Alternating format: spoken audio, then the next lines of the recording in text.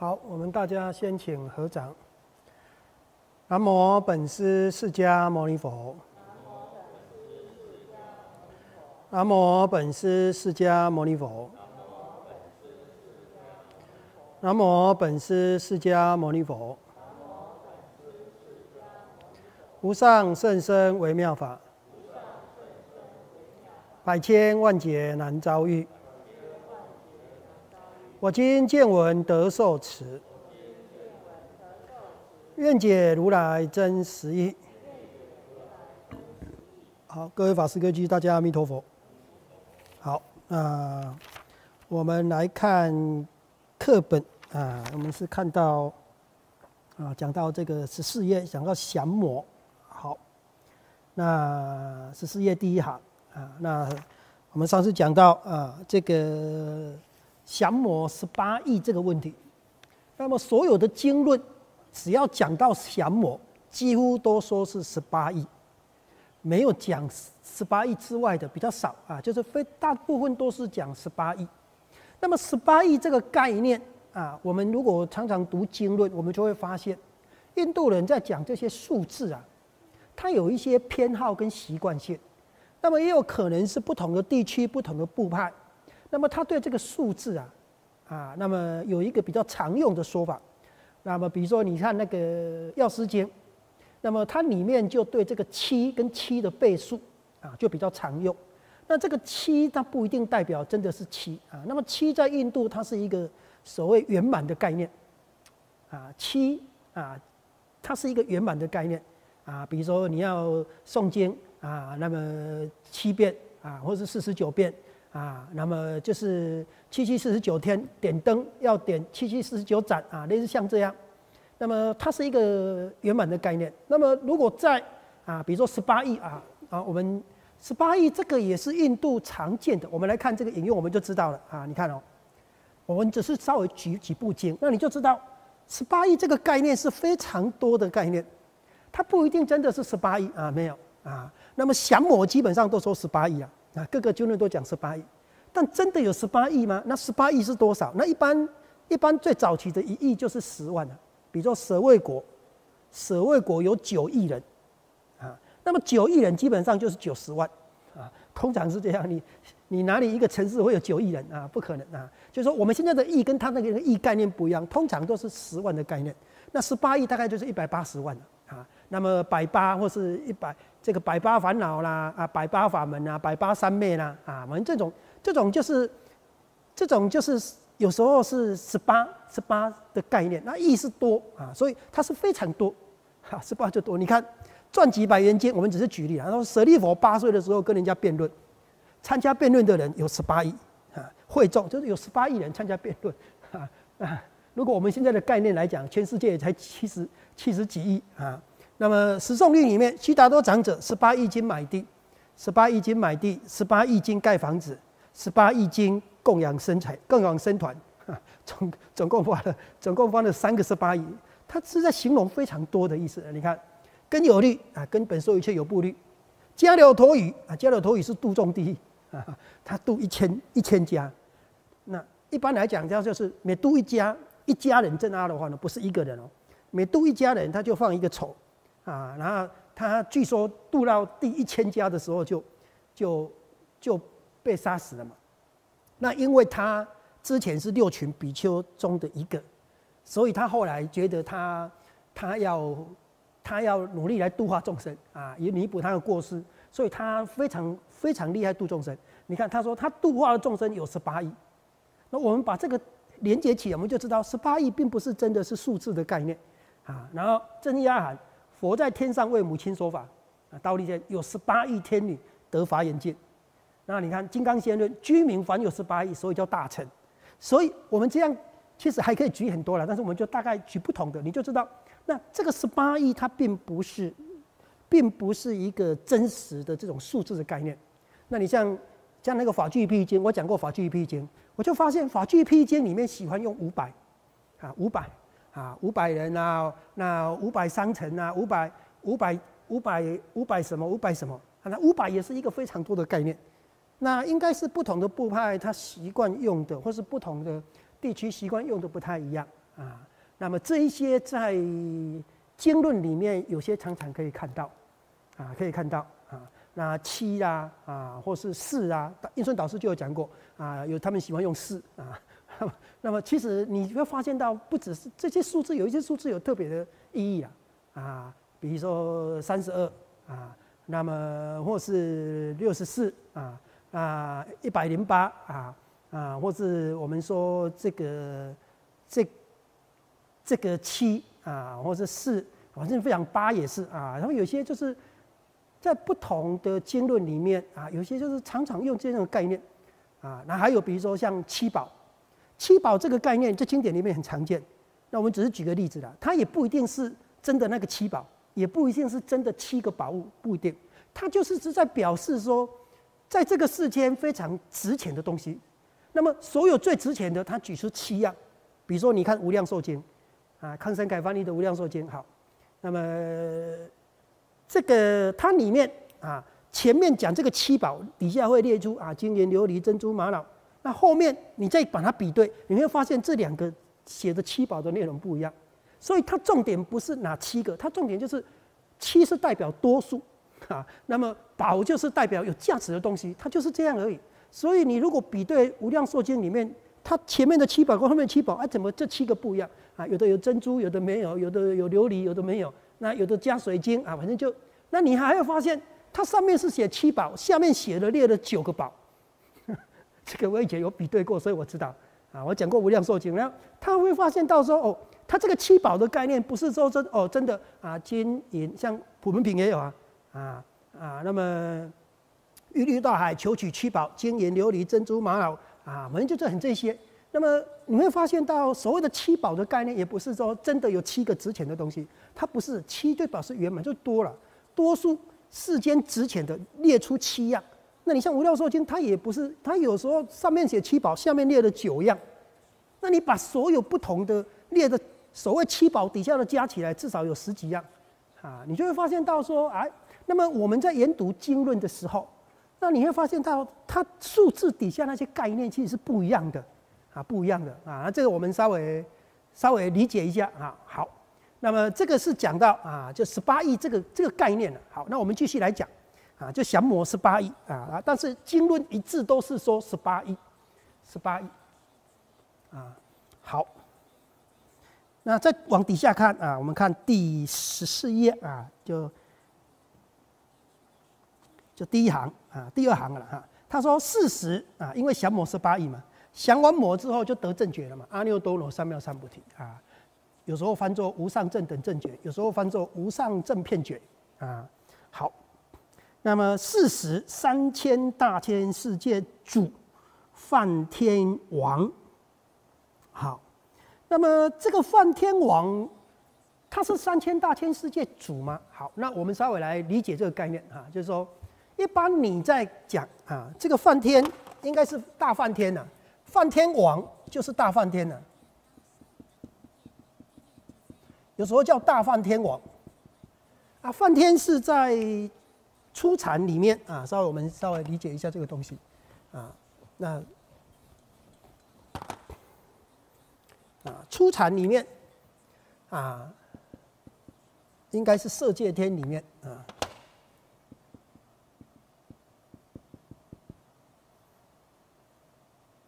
色界里面啊，那么有所谓的初禅天、二禅天、三禅天、四禅天，啊，初禅、二禅、三禅、四禅。那么初禅天里面主要就是三天，其实三天其实就是一天呐，啊，它就是犯众，啊，这是普遍的说法了。当然也有人有不同的说法啊，犯众天、犯府天。那犯众就是一般的人民，犯府就是这些贵族、国王。那贵族、贵族或是一些小王，那这个是这个是大梵天，就是国王啊。大梵天啊，就梵众天、梵辅天啊，那其实这个是三个一天，只是阶级不一样而已。那一般我们把它叫做三天啊，三个层次。那大梵天王啊，我们就把它讲这个。像刀立天有三十三天，刀立天王哈，就是刀立天里面最大的那一个啊。那大梵天里面最大的叫大梵天王啊。那么叫做梵天。好，那通常啊，我们如果一啊，就是说这个杂含来讲啊，那么它杂含经四二四到四二六，它就在讲这个三千大千世界啊。那么有一个太阳，一个月亮，就像我们这个太阳系，就是类似一个世界就是一个太阳系啊，一个太阳系是一个世界啊，就是围绕着一个太阳一个月亮的。好，那么有一千个这样的世界，叫做小千世界啊。这个是杂含四二四到四六经里面讲的啊。那么一千个小千叫做中千，一千个中千叫做大千，啊，所以这样乘起来大概就是有十亿个十亿，啊，就是一千乘一千乘一千呐，啊，那么基本上基本上梵天网一个世界里面就有一个梵天，啊，一个世界里面就有一个梵天，一千个世界里面一个小千世界就有一千个梵天，一个世界有一个梵天。像我们这个娑婆世界，我们这个娑婆世界，太阳系一个娑婆世界而已啊。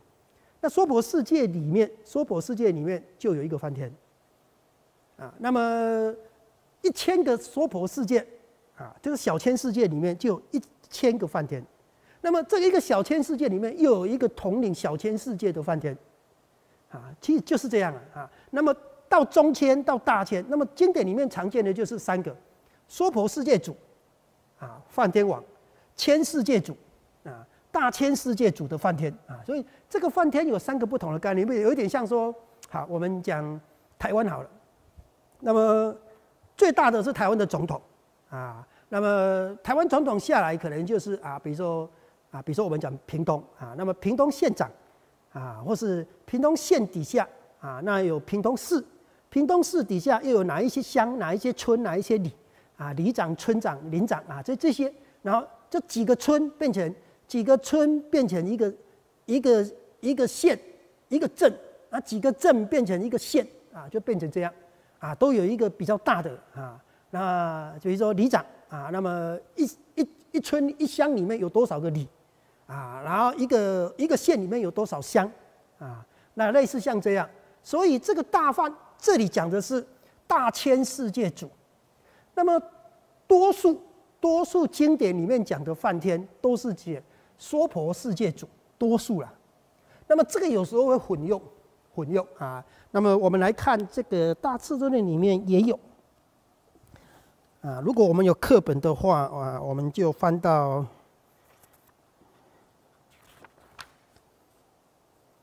我看一下。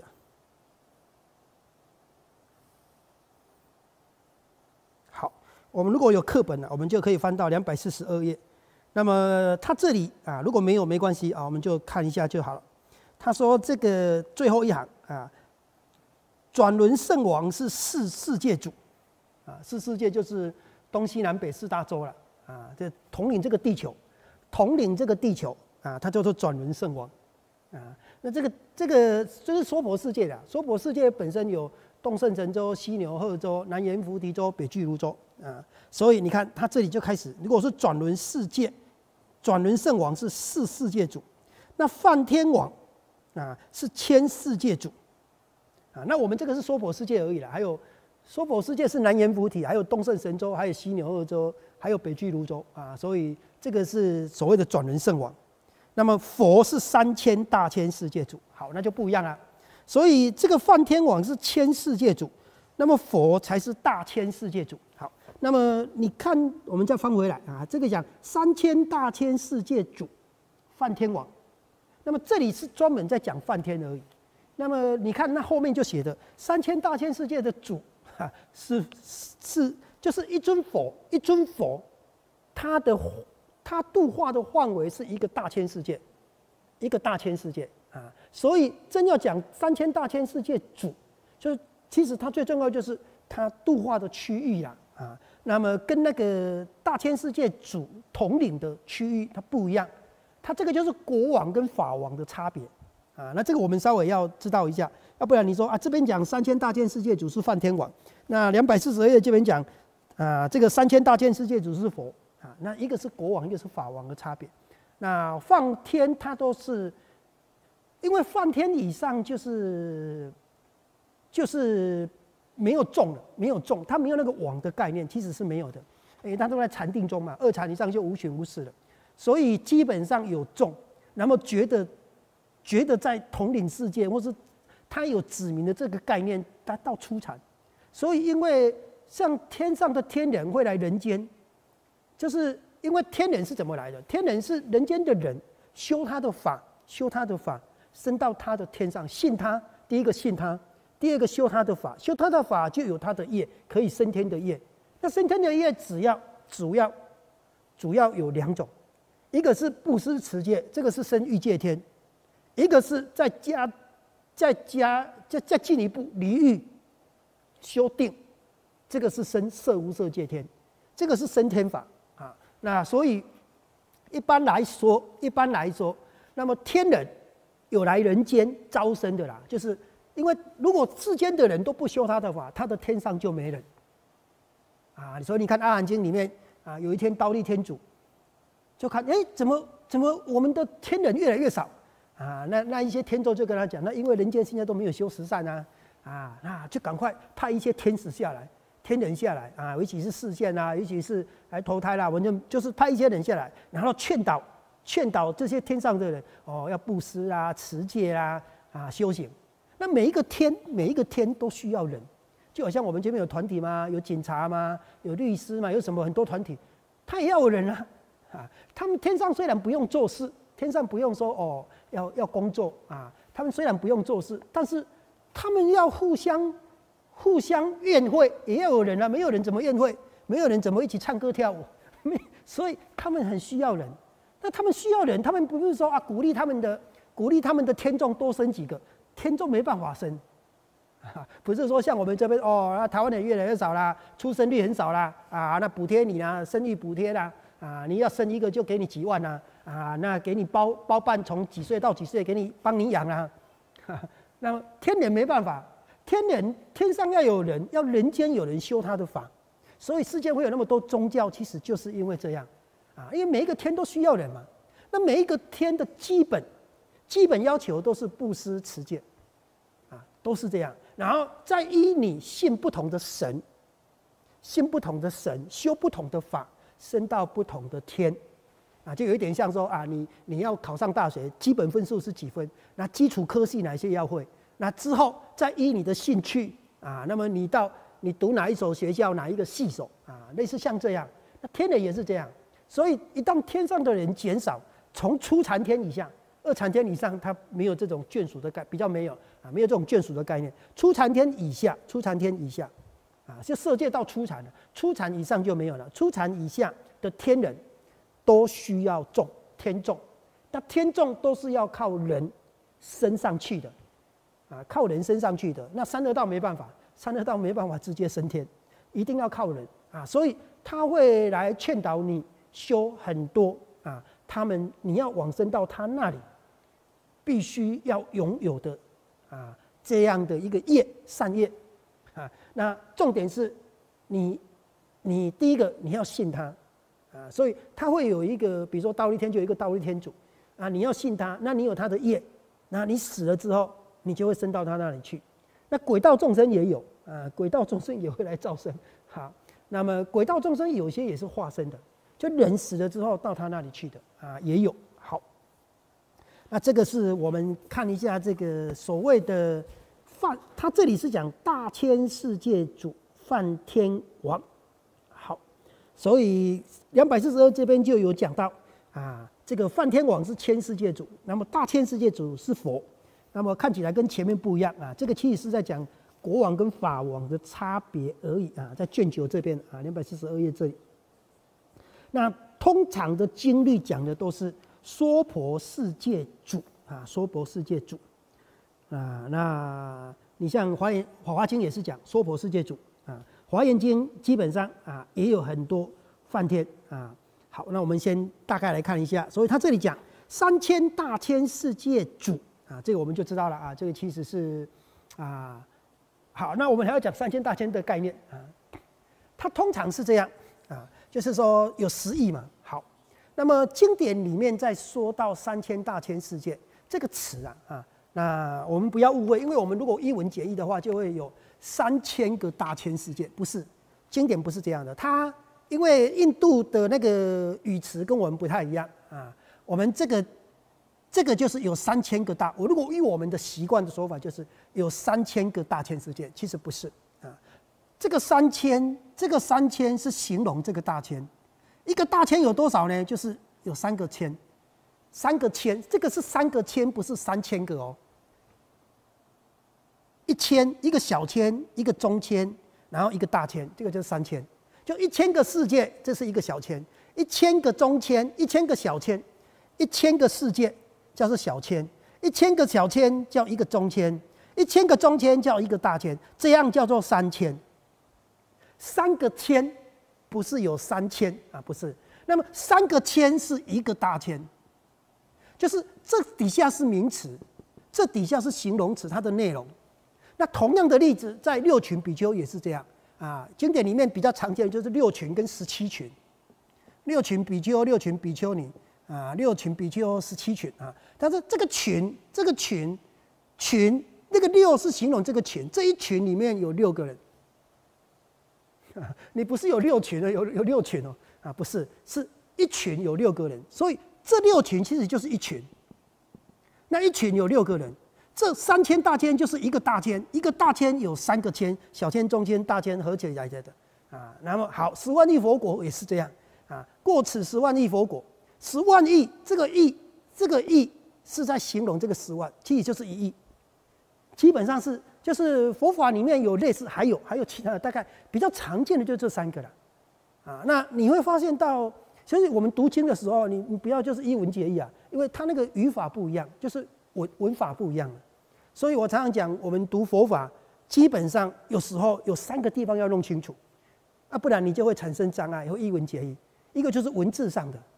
因为是翻译过来的，那翻译来的文字基本上都是在唐唐朝以前，大多数的经典从汉朝到唐朝，那么唐朝之后宋朝翻译的经典就少，也没有什么比较不重要了，所以都是从汉朝到唐朝。那这个这个都是什么文言文，古代的文，所以多数的人如果你中文，所以学习佛法要有所谓的经典语言嘛，跟研究语言嘛，经典语言就是它原文记载的。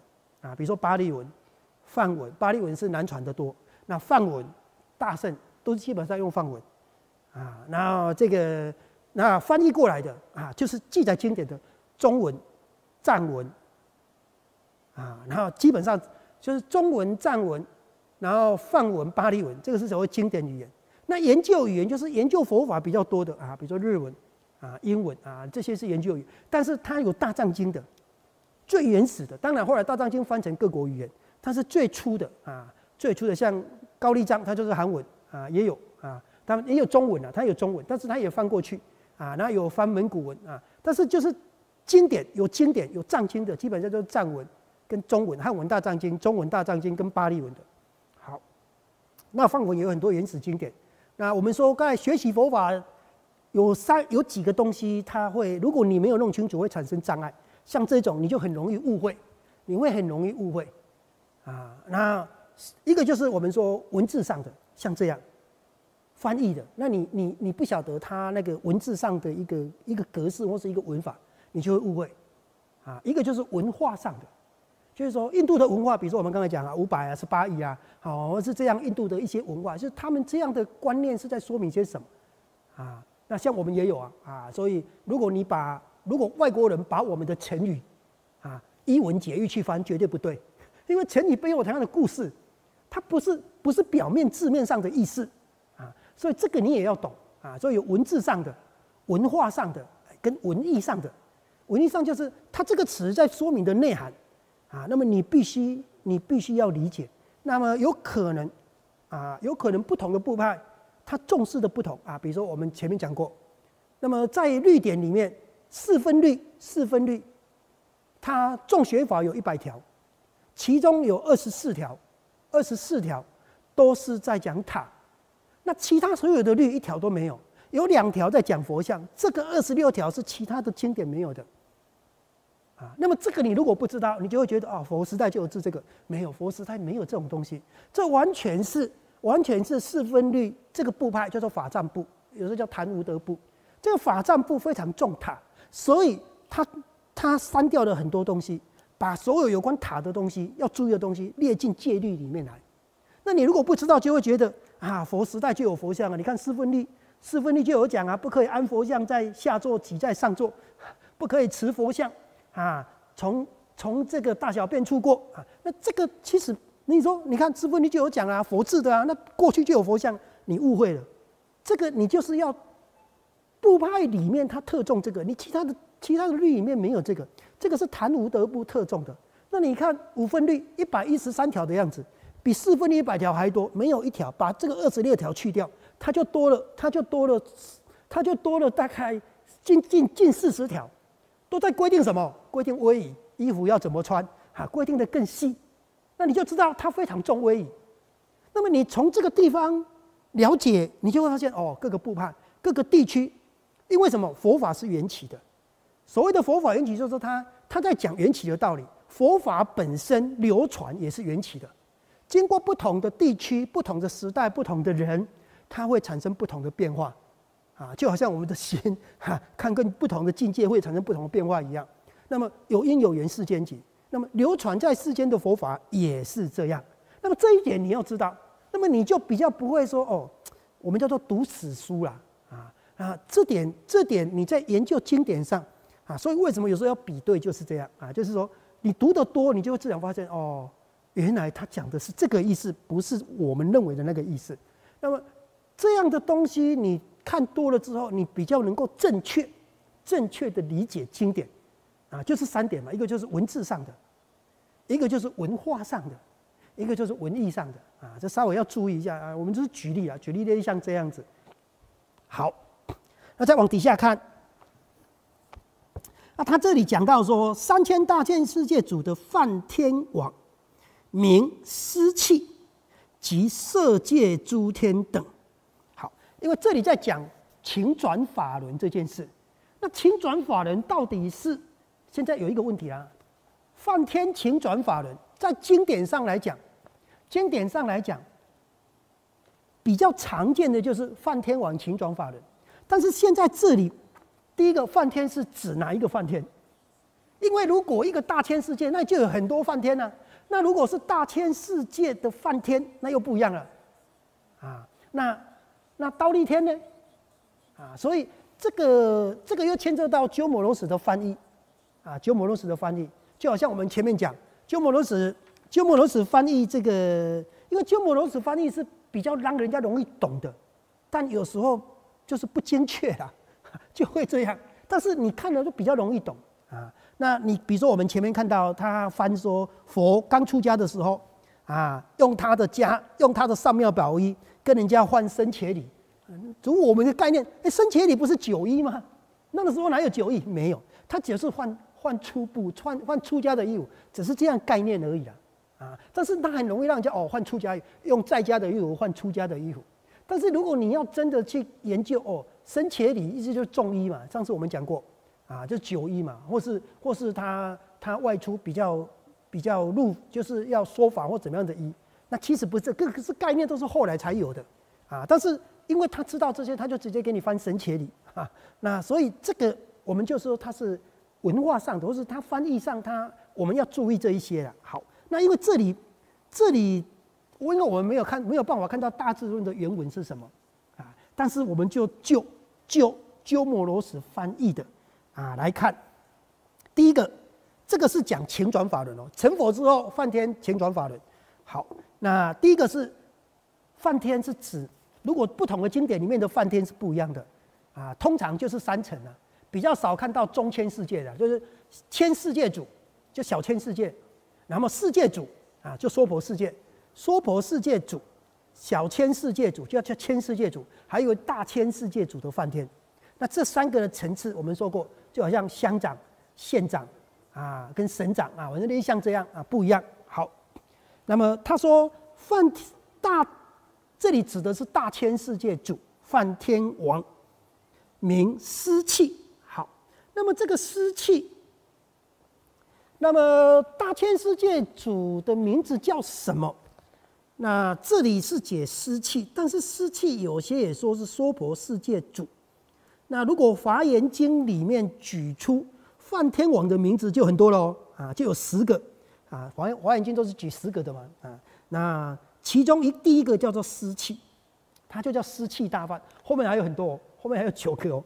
啊，那这个《法华经》的话，《法华经》的话，它是说娑婆世界主梵天王湿气，所以你看这个就不一样了。《法华经》也是鸠摩罗什翻译的，《法华经》也是鸠摩罗什翻译的。那么这里说的是大千世界主湿气，那它的名字叫湿气啊，有时候叫四浅，有时候翻译叫四浅。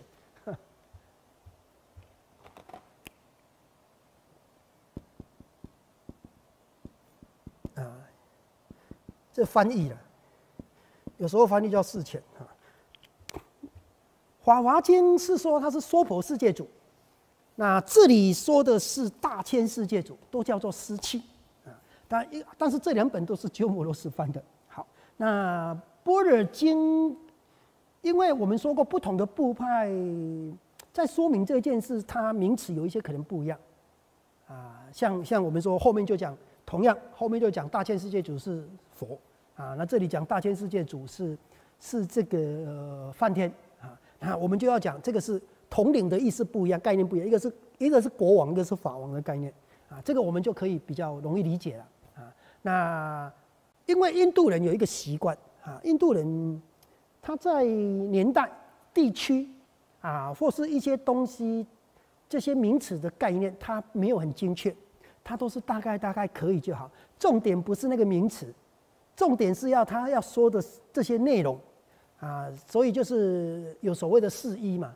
啊，四一四不一，一义不一语，就是你不要重视那些名词，它重点是要跟你讲什么内容，然后这些这些道理要重了义，而不是不了义，所以一了义不一不了义啊。那么因为印度人的习惯就是大概大概就好啊，这个从部派来就这样了。假设你记得这个经典，但是你已经忘记佛是跟谁讲了，但是你只记得是跟一个在家人讲的啊，那在家你就写国王嘛，频婆娑罗王嘛。或是或是写波斯匿王嘛？如果是王后就写茉茉莉夫人嘛？或是或是韦提西嘛？如果是居士，那你就写须达多长者嘛？啊，或是或是迦兰陀长者嘛？反正就你认识的长者，大家认识的也可以嘛？啊，那如果你认识，但是大家不认识，那没关系，你就举举大家认识的就好啊。比如说啊，比如说佛佛为一个为一个国王说法，但是你要台湾。啊，比如说你来台湾，那台湾人不想不认得波斯匿王，哈，你就说那佛有一天啊为蔡英文说法啊，为为这个为这个马英九说法啊，那其实它是一个国王的概念，那佛没有真的为马英九、蔡英文说法过，那但是他为了让这里的人了解，他就会举当时的人国王的概念啊，这个是在经典里面很常见的哦，啊，这时候我们要稍微知道一下。好，那他这里说到。啊，梵天王啊，那么这里有几个概念，一个就是他这个梵天湿气大梵，这个到底是娑婆世界主还是大千世界主啊？如果在华华经，他是娑婆世界主啊，他名字是一样的嘛啊，但是他也是一个概念而已啊。然后在这个你看大智论里面讲的就是这个大千世界主湿梵啊，我们我们现在大概知道就是梵天王湿气湿气梵天王，这个是比较常见的。印度比较常有的概念，但是它到底是什么王？所以并且它本来是娑婆世界主，但是讲到大千世界主，因为这个比较常见，所以就也给他用这个名字啊。其实是这样，好，所以叫名叫湿气。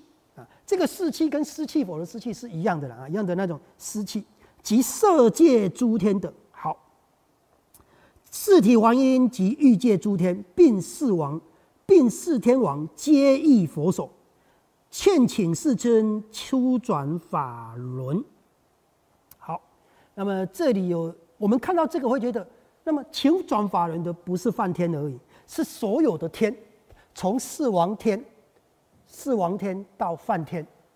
那那有一些讲的更多，是从从色界的他化自在天啊，从色界的色就今天呢，一直到。刀立天通常啊，很多经典都是从刀立天到色就今天，从刀立天到色就今天都来请转法轮，啊，那四王天比较少见。那么这里连四王天也来请转法轮，啊，那这个是有一些经典这样说了啊。那一般一般一般是四王天，四王天是现波，那刀立天是现一，哈，四王天供养波嘛，刀立天供养一嘛，啊，那梵天请转法轮啊，一般是这么说了，一般是这么说，啊。那其他有一些经典里面说的啊，比如说我们讲啊《方广大庄严经》，他就讲啊，那么梵天梵天找去找刀立天主，那么一起一起去请佛，那么这两个人商量了之后，就把欲界天跟色界天的人都请去请佛转法轮。那你说无色界天呢？无色界天在定里面啊，他请不出来啊，没办法啊。那么他要定过了之后，他才会有他才他才会再下来啊。那这个是比较常说的啦啊。那你看啊，如果我们讲这个请转法人这一件事啊，讲请转法人这一件事，那这个《方港大庄严经》是说大梵天王啊，那么去请刀立天主，那么。还有其他欲界、色界的诸天都去请佛转法人。一般我们的概念就是啊，梵梵天王请转法轮而已，只有梵天王而已啊。但是其他的经论有的讲的不一样啊，就像我们说，这个是一定会有各个部派传说的不一样，有的会加一点，有的会减一点。你说佛大概出生走几步，往哪里走，哎，就就讲的不一样了啊。那这个也是一样啊，到底谁去请？哪一个梵天去请，哪一个梵天王去请，啊，那讲的都不一样，啊，那过去现在因果经讲到是，那么从四体还因，就是从刀立天到四王天，那刀立天到他化自在天都去请，但是基本上都是大梵天王发起的，是由梵天王发起，那么去找所有的诸天，那么去请双法轮，那么这样听起来感觉比较殊胜啊。那么大圣佛法后来特别，不要说大圣不拍佛教就这样了，啊，不拍佛教就有一点点，我们讲开始有一些我们就神话美化，因为佛法里面通常你会看到两个概念，一个就是神话跟美化佛教佛陀佛弟子，啊，当然他们也值得非常值得赞叹，但是有一些会形容的，像你如果读大智度论，你会发现到大智度论里面。初期大圣里面对佛教的形容，啊，那么对佛陀的形容都是也是尽量的美化，啊，尽量的美化。那么这有一点像什么呢？比如说，其实中国也有啊，对于自己的人，我们现在人也是啊，对于自己的师傅也是尽量的美化，啊，那么对于外道就尽量的丑化，啊，就是他有美化跟丑化这一部分，这一部分我们要把它抽出来，啊，那么就是说，比如说杂含里面，杂含形容那个外道有时候。啊，那个不晓得是翻译还是说后来流传了。我相信那些劫己的大阿罗汉不会这样做了。啊，劫己的大阿罗汉，比如说大家说劫己这些阿罗汉，他不会有丑化外道的情形产生。啊，他基本上就是如实说。啊，但是但是佛法延续到部派就开始有所谓的尽量美化我们自己，那么尽量丑化敌人啊，就是外道了。啊，其实也不是敌人了，但是就会比较尽量丑化，会有这种情形。到了初期大圣对佛、对三宝的美化或是神话，它会有这种情况产生。所以你如果读大智论后面慢慢看，你就会发现到，那么你会发现到佛所有看起来不好的东西，其实都不是真的，它都是视线而已。比如说他有生病，他背会痛啊，那么。那这个他有一个不孝的徒弟啊，提婆达多。那如果佛真的是一切智人，佛真的那么厉害，他难道不知道提婆达多不好吗？为什么还替他出家啊？就是会有这种概念出现呢？啊，那佛为什么还会老？啊，为什么还会病？啊，为什么还会被诽谤？啊，那所有这些不好的，他都跟你讲，这个是视线的而已，哈，说是视线，这不是真的。佛已经三业清净了，他没有那个业啊，他累劫修行。他不会有这种恶报，不会有这种恶业，不会有这种痛苦。那个这个是要视线给你知道啊，让你知道你可以修行。你在后面看这个，他常常会讲这些。那么这个有一点就是说，后来就变成好也是好，因为佛越来越崇高，但越来越不可及，就是那我们都没有这样，就他悉达多可以成佛，但我们不可能啊，就会变成这种概念哦，啊，所以就是慢慢佛会升到天上去啊，甚至讲到佛不是在这个世间成佛的，佛是在色究竟天成佛的，因为色究竟最高嘛，啊，色究色究竟天是最高，色界的出色界的在那边成佛的，甚至讲到。佛是早已成佛的，他《法华经》他只是事先来成佛的啊，他不是现在才成佛的啊。那就开始有这些概念出现，但是我们都要知道，在佛法演化的过程里面，它有这种美化跟丑化的现象产生啊。那我们有时候会后来会乱掉了，那到底是怎么样？可不可以告诉我真相？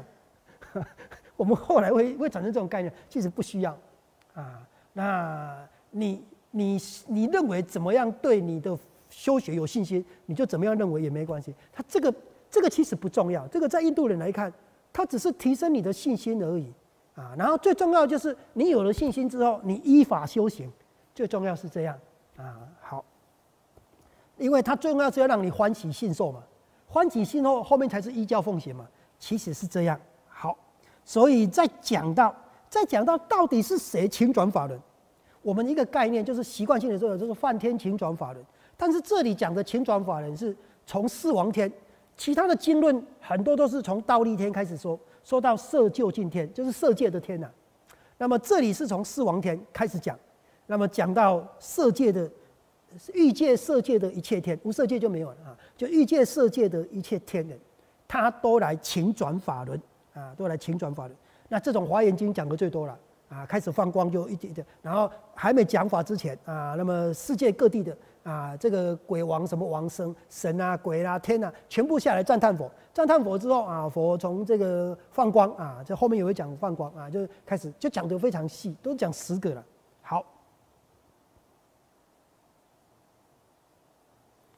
这是这是请转法人的一个概念啊。那像在这个。是说，那佛佛为什么要人家请才转法轮？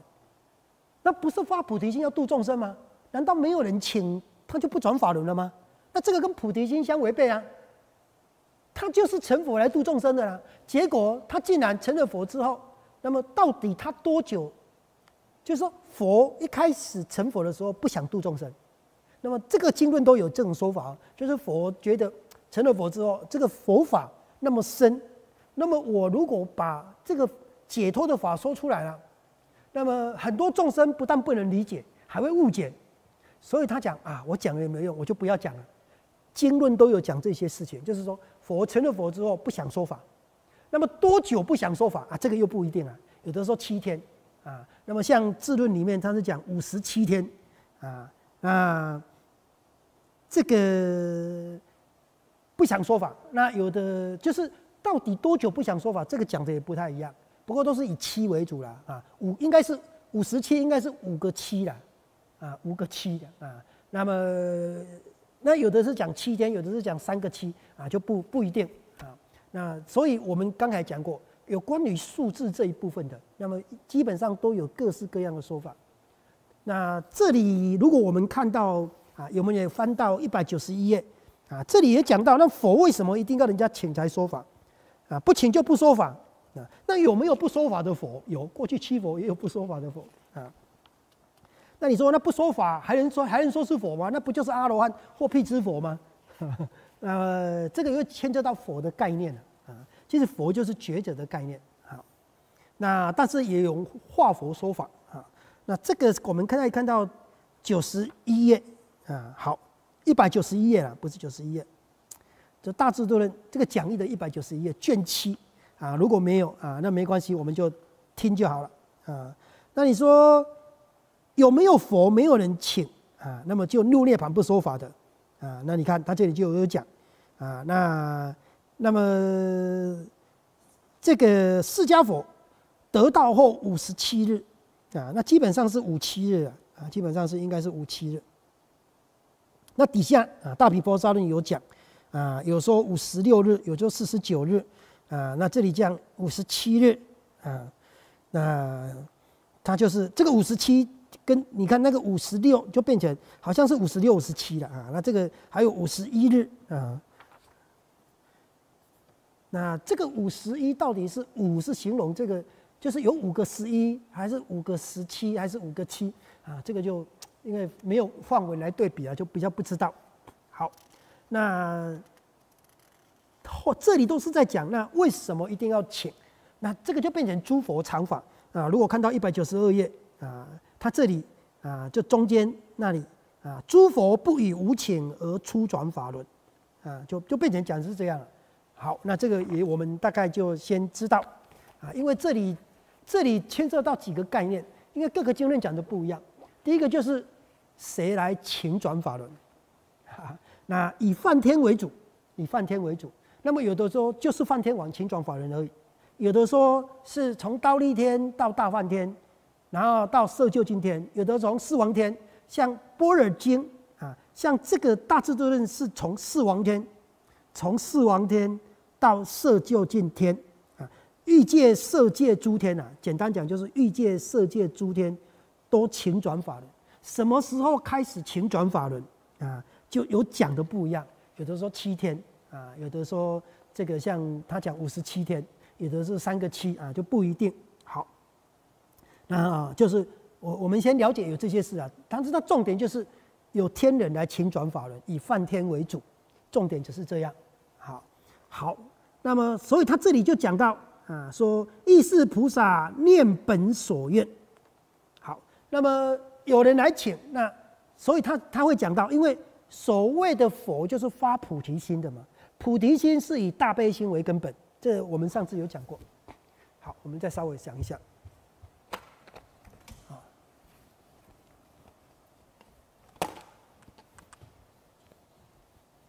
菩提心就是成佛的心。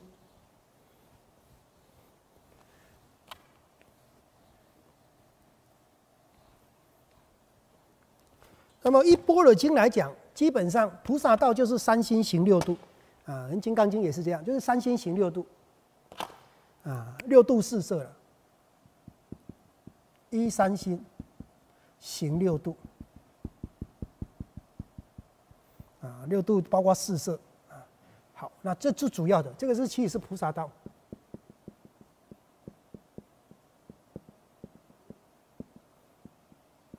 那。这个三心里面最重要的就是菩提心，菩提心、大悲心、无所得心，跟无所得心，无所得心就是性空慧啊，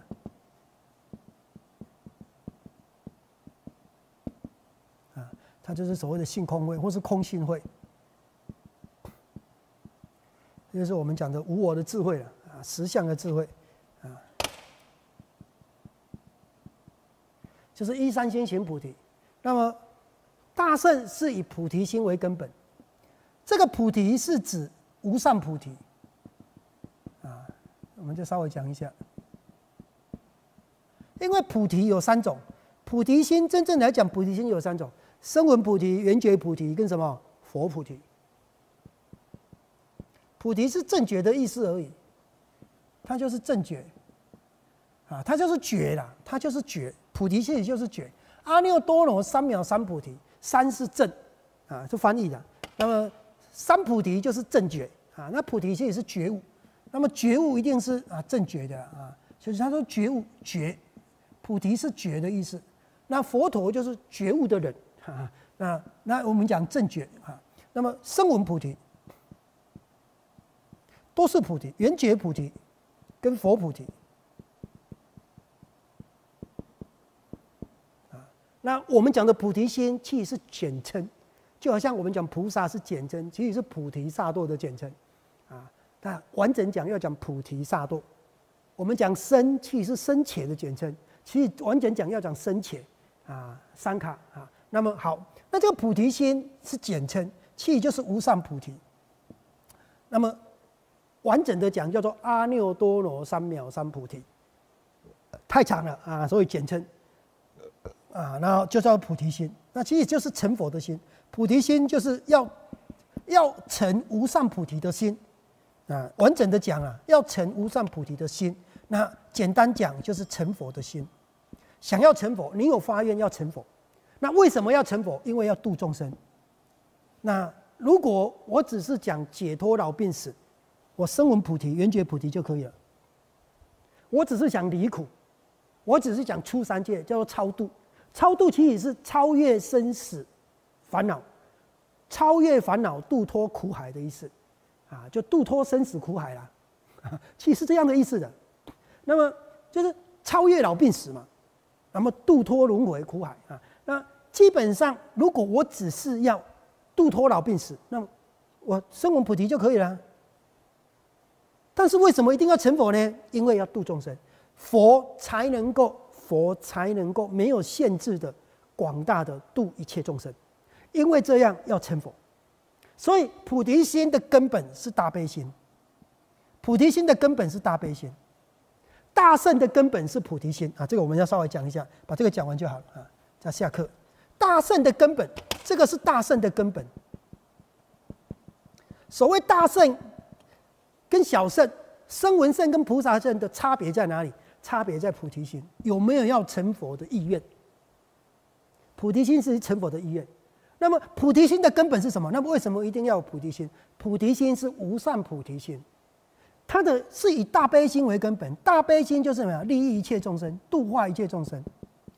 它不是一个两个，是一切一切有缘有善根的啊，一切众生。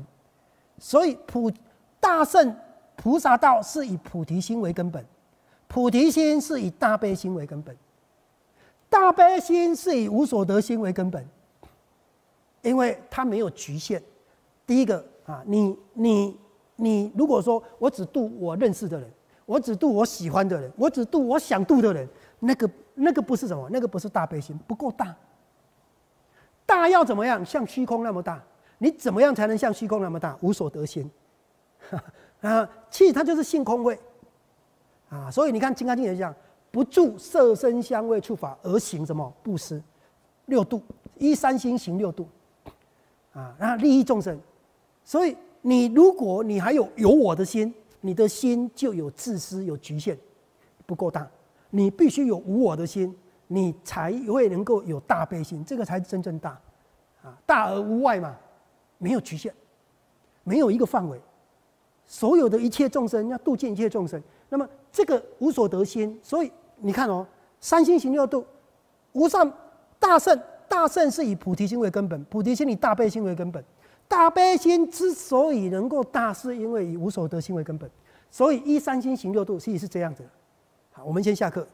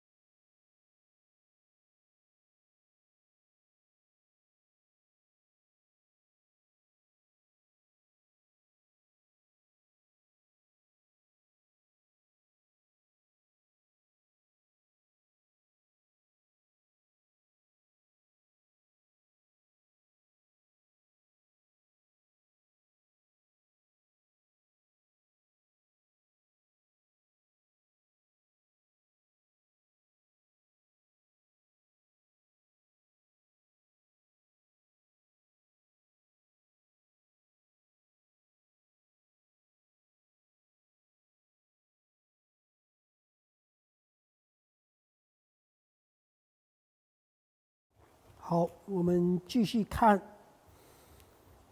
因为他这里讲到啊，意识菩萨啊，除了梵天请转法轮，他有两个，一个就是有人请啊，那一定要有人请，显示佛法的尊贵了啊。那第二个就是，当然因为佛陀那个时代常见的就是梵天、刀立天以及摩天啊。天魔犯，天魔犯，阿含经常常讲这个天魔犯。天主要是以刀立天为主，啊，那么犯主要就是大梵天，魔就是欲界的第六天啊。那么这个是比较常见的，那可能也是印度人的信仰比较偏重在这三个。那特别是梵天，梵天最早的时候就是印度人比较重梵天，因为他是出生一切的一切世界主啊，尤其是像。像奥义书啊，那么也是主张放我合一的。那梵天是在当时比较主要的神，主主神，所以那么印度人最最重视的、最主要的神来请佛转法轮。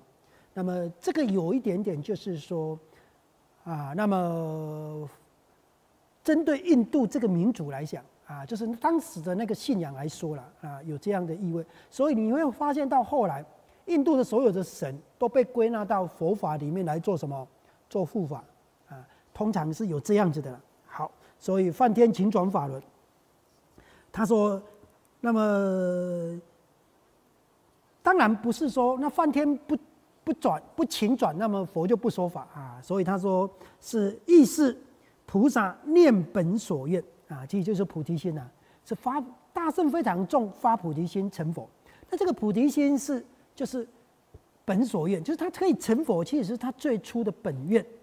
那么本愿就是要度众生，所以菩萨菩萨证无生法忍之后，就是一愿一的本愿，就是什么庄严国土成熟众生。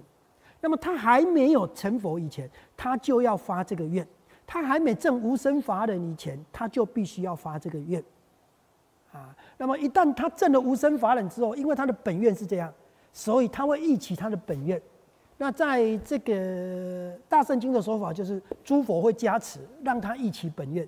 其实，当你这个愿非常深刻的时候，你不管你到哪里，你都是带着你的本愿的。所以，当你成佛的时候，你自然而然会忆起你的本愿啊。所以，那这个本愿就是什么？就是要利益众生，要度一切众生。菩提心是以大悲心为根本啊。所以，当你已经有无所得、有性空慧的时候，你自然而然会忆起你的本愿，要度众生。所以，无生法忍之后，就是庄严国土，成熟众生。庄严国土是为了成熟众生，啊，就是就是无生法忍以前，当然就正努力让自己证得无生法忍，叫做绝诸细论，啊，那么就是就是证得无我了。啊！但是如果你没有菩提心的话，你很容易就进入声闻，啊，就是入解脱道了，正入实际了。那正入实际就是你已经，你就是走，因为你那个时候你证得无我之后，假设你没有大悲心的话，没有菩提心的话，那么你很容易就证阿罗汉了。那么一旦证入阿罗汉，一波的经的说法，一波的经的说法，一旦证入阿罗汉，你就不再可能成佛了。啊，叫做焦芽败种，这个是般若经特有的概念，法华经没有焦芽败种的概念哦。法华经可以回小向大，般若经没有，般若经没有回小向大，这显然是不同的部派了啊。就是说，般若经没有回小向大，般若经你只要正入实际，小就小，你正入阿的话，你叫焦牙霸种，那你不可能再成佛，你不可能再成佛，啊。那当然，《法华经》就说，那没关系，你还是在成佛的道上，你再走两百里就好，哈，回小向大，啊，所以你看这个净土经典里面很多都是阿罗汉，如果那么他还可以再成佛，啊，你看那个，你看那个极乐世界，它是二圣种不生，你没有发菩提心，你不能去的，那为那为什么那么里面很多阿罗汉，啊，阿罗汉非是算术譬喻所不能及，啊，就是非常多阿罗汉。那他那个不是二圣种不生吗？阿罗汉没有发菩提心呢，那回小向大吗？啊，那这个在般若经是没有的，般若经没有，所以他非常重视你的菩提心。你一开始就要发菩提心。如果你没有一开始发菩提心，一旦你一旦你证得无我的时候，你很容易证入空，就是证入无我，证入空无我之后，证入无我之后，你就你就证阿罗汉去了，啊，其实是这样。所以念所本愿啊，就是菩提愿非常的重要啊，尤其在般若经里面啊，那么以及大慈大悲，那本所愿就是要度众生，就是大慈大悲的心了啊，大悲心了。那你真的要大悲，那必须要有无我。你有我，你不可能大悲，你大不起来啊！啊，你你不你不可能冤亲平等的那个度化众生啊，不可能啊！所以基本上这三个我们讲过，这三心是互相关联的啊。大圣菩萨道以菩提心为根本，因为你要先有成佛的心去修行，你那才叫做菩萨。你没有成佛的意愿修行，那个不叫做菩萨，那个不叫做菩萨啊，那个就叫做声闻。啊，你还是修行，你还是可以得解脱，但你不是菩萨，你还有烦恼，但是你有菩提心，你就叫做菩萨。菩提萨埵嘛，啊，发要成佛意愿的人有情，他就叫菩萨，不一定是人啊。如果从大圣里面来讲，啊，菩菩萨不一定是人，鬼神天都可以啊啊，所以他说念菩萨念本所愿。即大慈大悲故，受请说法啊！所以第一个一定会有人请法啊！就他这里讲到《大智论》里面也有说啊，他说到这个卷三十五，卷三十五啊，这里没有啊。他说到诸天供养各有定法，就是他讲的多一点，我只是简略说了啊。他说他佛成佛之后，一定会有这些事发生，叫做诸佛常法啊，就决定啊，有时候叫诸佛常法。或是诸佛定法啊，后来就把以释迦牟尼我为范本了啊，所有的佛啊娶了太太之后出家啊，然后就是八相成道变成变成一个模式啊，那么一定是在树下，那么我们不可以不在树下吗？没有，他就在树下，成佛是在树下，出生是在树下，涅槃是在树下，所以有菩提树嘛，有菩提树嘛，那么这种后来变成一种习惯了。变成一种，就是释迦佛是这样，所以啊，那么一切佛都是这样，那么都有两大弟子，都有一个都有一个逝者多闻第一的啊，那么可能也都有一个提婆达多 啊啊，那么类似像这样啊。好，那么这里是讲到诸天供养各有定法，出生的时候啊，四体还音奉衣啊，因为出生出来是没有衣服的嘛啊，所以要有一件衣包着的嘛啊，那么梵王啊，就梵天王持盖。啊，就遮太阳了，啊，遮雨也这样遮太阳。四天王啊，那么东西南北四大天王，那么护卫啊，保护啊。那么出家的时候，进居天四见老病死跟沙门，当他发出离心，可以出家，想出家了啊，就提醒他啊，让他出家。他本来就会来出家成佛的。那成佛的时候啊，放天王啊，这一样一样的放天王啊。那么这里的放王持盖一样啊。那么勤转法轮。那我们说过，这个饭王到底是指哪一个饭王？那么各个经讲的不一样。那么勤转法轮到底是什么时候勤转法轮？有的说七天，有有的可能是两个七、三个七啊，我们讲的不一样。那大众人讲到五十七，那五十七到底是一个什么概念啊？那像大比波沙也有五十六的啊，五十一的啊，就啊不晓得。不过那个好像导师的说法就是五十七应该是五七的翻译啊，但我们也不知道了，因为没有原文。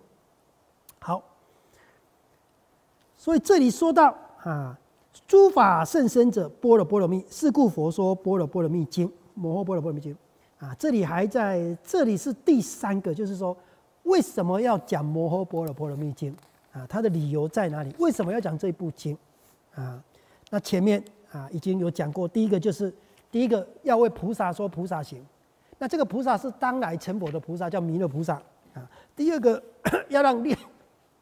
要让想见佛的人啊，修念佛三昧的人增益啊，那么就是从这个念佛，那么可以见法啊，是这样。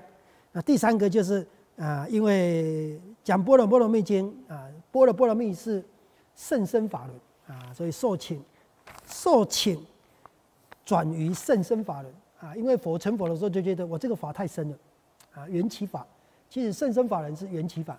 啊，缘起甚深，那一缘起正涅盘，甚深复甚深啊，其实是这样。那如果从大圣来讲，就是波罗波罗蜜甚深，一波罗波罗蜜成佛，甚深复甚深啊，其其实是这样的啊。比如说我们说，因为缘起无我是得解脱的嘛，啊，那么甚深复甚深，甚深法轮啊。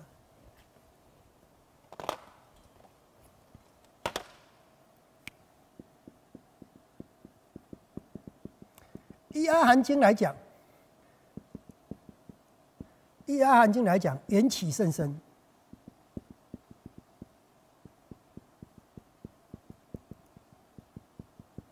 缘起基本上主要是讲生死轮回跟解脱、解脱成道啊，那么这样的一个状况，为什么会有生死？怎么样才可以出生死？那么所以缘起。啊，就上次我们已经用了很多时间来讲这个啊，就之前有讲过。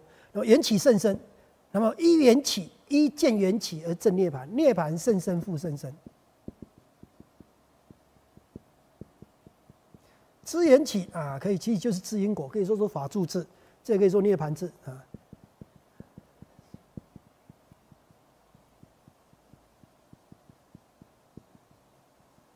如果这个这个是啊，依解脱道来讲。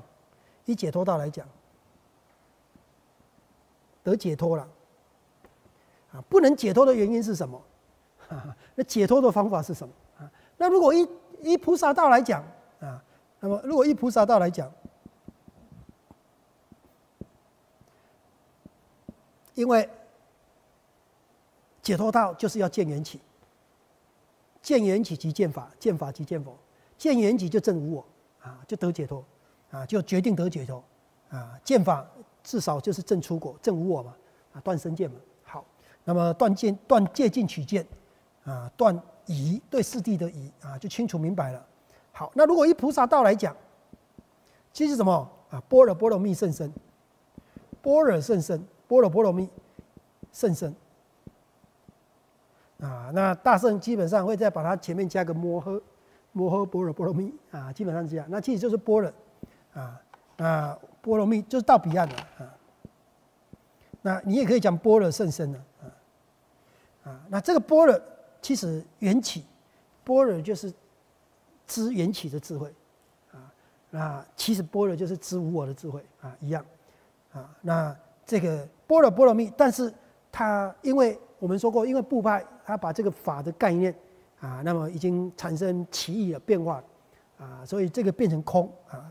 那波若波罗蜜甚深，那么一般若波罗蜜成阿耨多罗摩罗三藐三菩提，甚深复甚深，啊，其实就是这样，啊，所以是一般若波罗蜜而成无上菩提，甚深复甚深。那么一缘起而证得涅盘，啊，一般若而证无上菩提，啊，就是阿耨多罗三藐三菩提了，就可以讲这个是甚深，甚深复甚深，啊，波若波罗蜜甚深。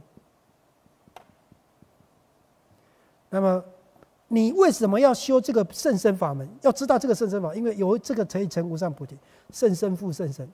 如果依大圣的法来讲，它就是这样，甚深复甚深。那这里说，这里说最主要的是要说波若波罗蜜甚深法门了啊，就是这这里。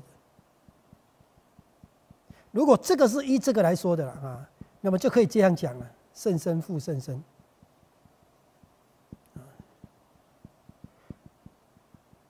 因为你见缘起，正出果就见缘起了啊。但见缘起还有烦恼，但是你决定会断烦恼。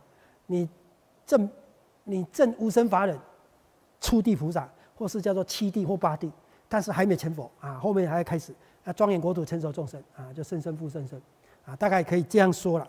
那为什么要讲般若波罗蜜啊？因为要讲这个甚深法门啊。好，所以他说诸法甚深者。般若波罗蜜是啊，般若波罗蜜是以是故佛说摩诃般若波罗蜜经。好，那这个是第三个原因，为什么要讲般若波罗蜜经啊？因为要讲甚深法门，成佛的法门啊，其实就是成佛的法门了。啊，要告诉大家怎么样成佛，而不只是告诉大家怎么样得解脱啊。如果告诉大家怎么样得解脱，阿含经就有了。阿含经就有了。现在要告诉大家的是，大圣里面的菩萨道里面的甚深复甚深法门啊，所以要讲般若波罗蜜啊，摩诃般若波罗蜜经。好，那第四个啊，它的标题说欲断众生以一切智人。好，他说复次，有人疑，有一些人怀疑佛不得一切智啊，一切智就是知道一切的智慧。那通常一切智是知一切法的智慧，啊，这个我们稍微讲一下。但是这边现在这个一切智已经，啊，那啊，我们把这个还没讲啊。他刚才讲到那个情转法轮啊，那么龙树的大智度论讲到，就是情转法轮的是从四王天到欲界、色界、诸天都去勤转法轮。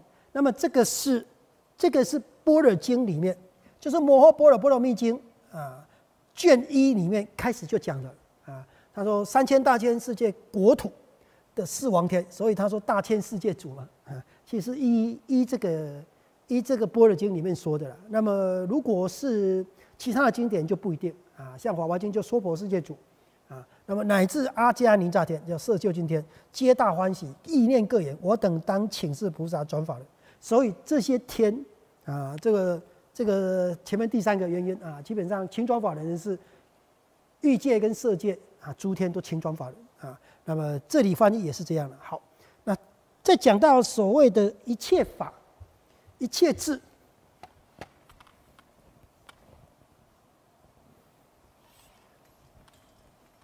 那因为有些名词，那么它的原来的概念，它会有一些变化啊，这个我们也要知道啊。所以它就是我们刚才讲文字上的啊，那文艺上跟文化上的啊，就文艺上的字，文艺上的这个词，在这本经是这个意思，在那本经它不一定是这个意思，不一定哦啊。比如说啊，我们常举一个比较常见的啊，我们刚才讲嘛，就是我们读经论哦，就是文字上的。刚才讲，比如说六群比丘啊，你不要用中国的文字的习惯，那不是他们，他们有所谓的六离合式。那这个解释是不一样的，你不要用中国的习惯去解释这些名词啊，不是啊，文字上的还有文言文的问题，那文艺上的啊，还有文化上的啊，比如说他们习惯说五百，不是我们这里的五百，他就是他的文化是这样子。好，那么文艺上的，比如说好，我们现在讲这个了啊，因为现在讲到一切字嘛啊，那么我们先讲，比如说涅槃啊，我们举这个例子比较容易，比如说涅槃，涅槃在。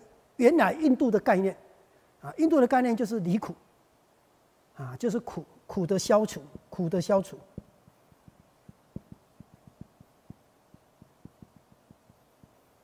那苦有很多种啊，比如说最常见的就比如说肚子饿，肚子，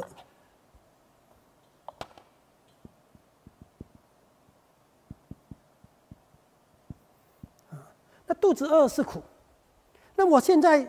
肚子饿了，我去吃饭了。我我吃饭吃饱了，肚子不饿了，那就表示那我涅槃了。啊，我已经你我已经解决了，解决了这个肚子饿，我把这个肚子饿的苦消除了，消除了。用什么消除？用饭来消除啊！我吃饭吃饱了，我吃饭吃饱了，吃饱了就是肚子不饿了，不饿了，那不饿我就不苦了。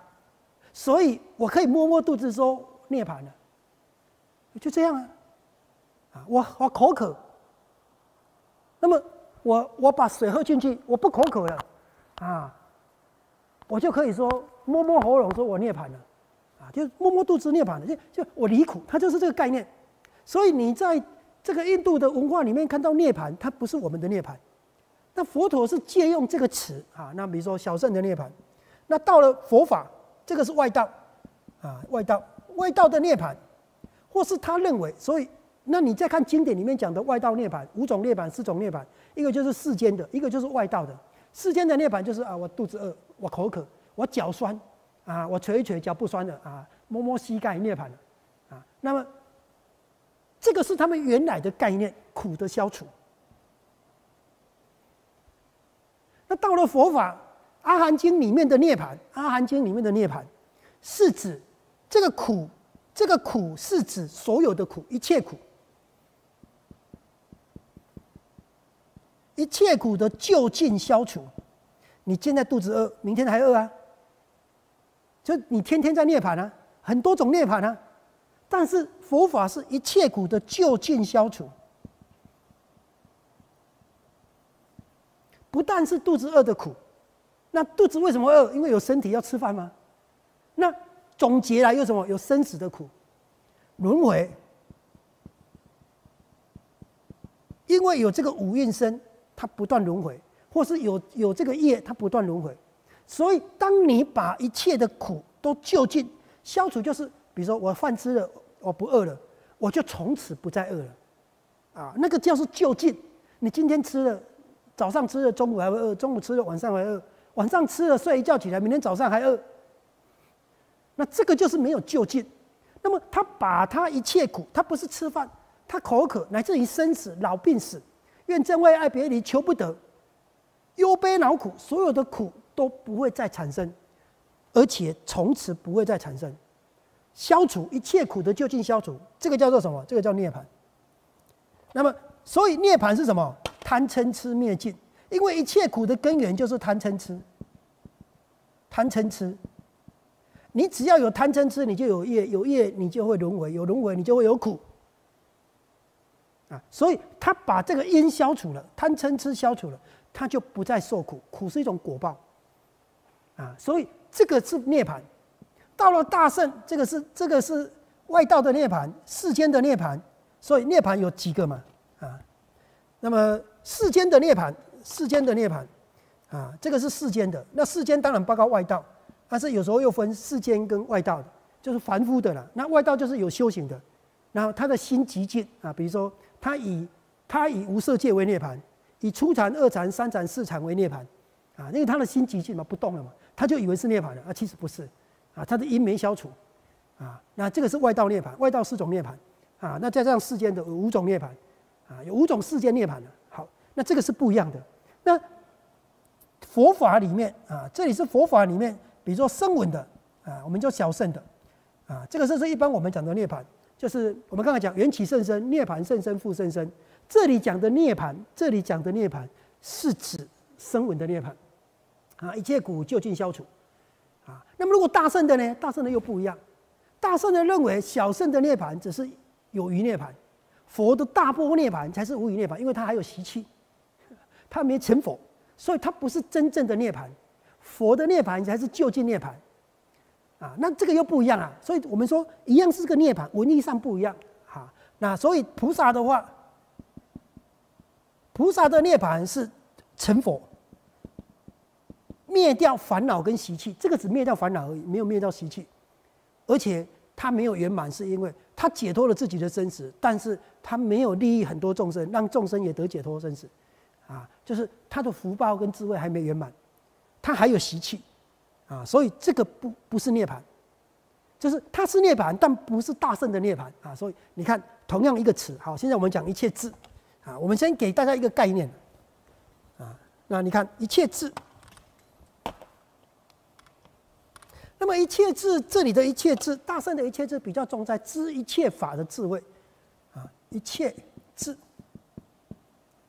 那你如果看大智度论里面，啊，它有所谓的一切智道种智，一切种智，但又不一样哦，这个这个概念是不太一样的哦，啊，这个一切智是指佛，但是声闻，声闻。如果从一切法的智慧知一切法的智慧，那么声闻也有一切智，但是这里的一切智比较是佛，就是知一切。他这个知一切法，这个智就是知啊，就知一切法，知一切法的这种能力。但是这个一切法啊，我们就讲到这个一切法。在《阿含经》里面，基本上就是六根六尘，就一切法，知一切法无我，啊，啊，如果是知一切法无我的智慧，它基本上就是一切智。但这里讲的一切智不是这个意思。那么在大智里面也有讲一切智道种智，一切种智，啊，一切智道种智。一切种子，啊，或是有一个叫做，好像《地藏经》里面讲，一切智成就如来的样子，成就一切智的如来啊。那么，但是这里，这个这个一切智是声闻的智慧。如果一大智度里面说了，这个一切智是声闻的智慧，声闻的智慧，这个是菩萨的智慧，知道怎么度众生的智慧，这个是。这个是菩萨的智慧，这个是佛陀的智慧，啊，那又不一样，啊，具足圆满具足一切的啊。那这里讲的一切智人啊，一切智人啊，所以你看这个名词哈，有时候又有翻译的问题啊。这里讲的一切智人，他所说的知一切法，就是世界上一切的原理、道理、方法、结果，他都知道。那比如说啊，举它里面举。放牛育精啊，这里面有，哎，我看一下，啊，所以这里的一切智啊，一切智，我们刚才讲就是声闻里面的所谓的一切法的智慧是，其实就是指无蕴无我、无我的智慧，啊，那但是这里的一切智不是这样的意思，那佛又叫做一切智人，佛又叫做一切智人，啊，佛有很多种名称，大致都好像举出二十四个的样子，啊，那其中一个叫做一切智人。佛是一切智人啊，佛是一切智人啊。那这个一切智，这个一切字跟这个声闻一切字的一切字不一样哦。好，所以我们看他说啊，有人疑佛不得一切智啊。那如果有课有课本的话啊，他底下有注解，但这个注解我们也不是，他他只是写到啊。大智度论卷二啊，那么我们可以看第，如果有书的话哈，我们看到六十六页啊，六十六页，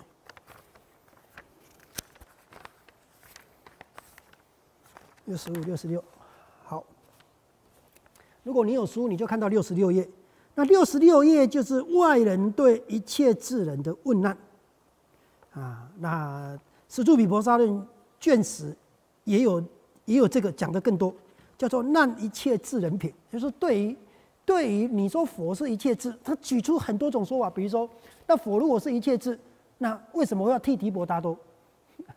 那提婆达多难道他难道他不知道这个提婆达多啊？那那个会会伤害僧团吗？会破和而生吗？啊？那如果他不知道，他怎么可以治一切智人？如果他知道他还这么做，那他怎么又可以叫做一切智人？那 类似像这样很多种了。啊，就佛为什么会金蝉马麦之报啊？就讲很多这种那一切智人的了啊。十住比如说，你讲的更多啊。那这里我们稍微看一下啊，所以他这里稍微说啊，那么对一切智人的问难啊，他一切智就是啊，反正什么大小事情有的没有，包括说那佛会不会打电脑？如果不会，那那那你佛佛佛不能佛会不会用手机啊？那佛会不会开战车啊？会不会开飞机？那如果从这个概念来讲，其实他会跟你讲佛会啊，佛会啊，那就是一切事，一切事怎么来的，怎么样做啊？那为什么会这样？他所有一切都知道啊，他所有一切都知道。那么这里过去全部都是啊，从六十六页、六十七页啊，那六十这些。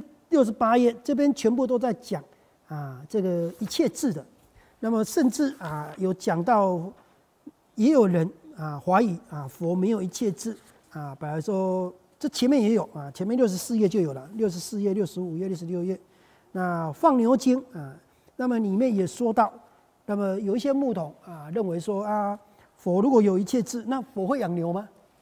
佛知道怎么养牛吗？啊，那就就有这件事。啊，那就真的有一些人就去问佛：如果你说你一切智人好，那么你是王宫出身的，你有看过牛，但你肯定不会养牛，你不知道怎么养牛啊，所以他就去问佛，啊，就我们去问看看。他说一切智能，我们去问看看。这因为这些牧童专门在养牛嘛，所以他知道怎么帮牛洗澡，怎么养牛养得又肥又壮，怎么让牛不生病啊。那如果生病的牛要怎么样，要怎么样做？啊，公牛要怎么做？母牛要怎么做？哎，这些佛是王宫出身的，他看过牛，他但是他绝对没有养过牛，所以他们就说那你是一切智人。好，那我们去问他，是不是一切智人？这个我们很熟嘛，这个我们很熟啊，所以我就问他，佛如果会养牛，那我们才说他一切智人啊。如果连养牛这种事都不知道，那养羊呢？对不对？那那这个盖房子呢？他他哪里知道啊？这不一定会知道。所以啊，他去问，结果佛就跟他讲了啊，如果养牛要怎么讲怎么讲啊？就有一有一本经叫《放牛放牛经》嘛啊，基本上就是牛屁放牛屁好，那这个在这个在大致里面也有啊，我就我看在哪里好。那所以他这里就是说，有人以佛不得一切智。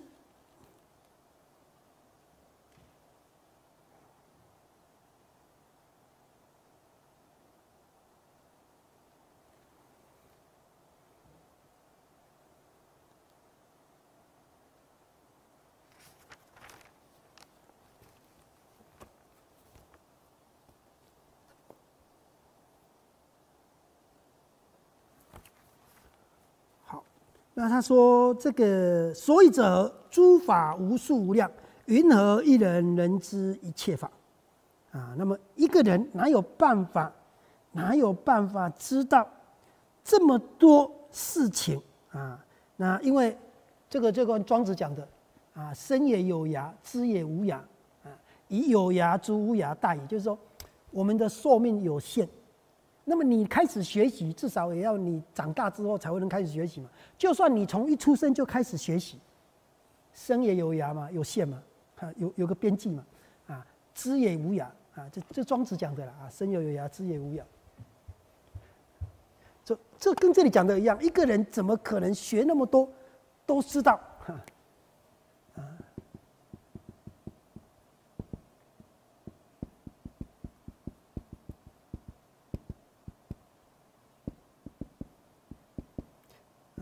就是要学习的知识哈，无量无边的，啊，但是生命哈有限量，啊，那生也有涯，知也无涯，以有涯知无涯，啊，就是你有限的生命要去学习无限的知识，啊，那是没办法的，好像是这样啊，如果我没有记错的话，你们回去再再看看，啊，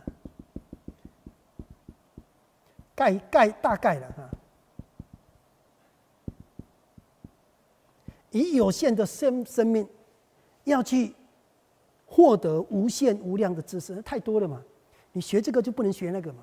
学那样就不能学那样？你要有可能什么都学，你不太可能啊！啊，大意啊！你你也跳死了啊！你不可能啊，就学不好啊，学不学不完，学不好啊，那么你会累死啊！啊，那所以所以这个这里也是讲这样啊，就是说啊。诸法无量无数，何以云何一人能知一切法啊？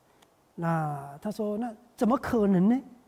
好，那他这里这里举出一个例子，说般若波罗蜜实相清净如虚空啊。那么这里讲到清净如虚空啊，这个上次我们也上也有引用这样这样啊，就是实相，实相是以啊。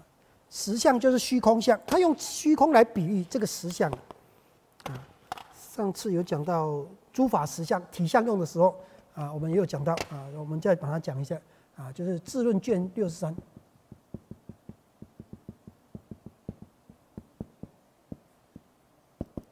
他说：“诸法实相常净，清净了。”他这里举虚空譬喻，基本上就是。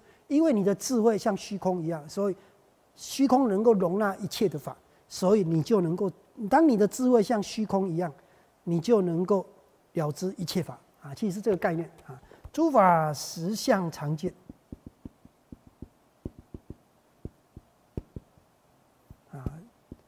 他说有佛无佛，常住不坏相。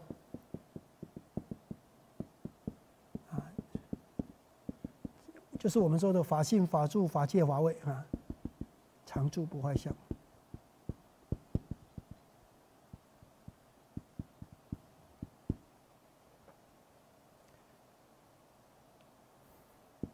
他说颠倒虚狂啊，颠倒虚狂，再颠倒虚狂法。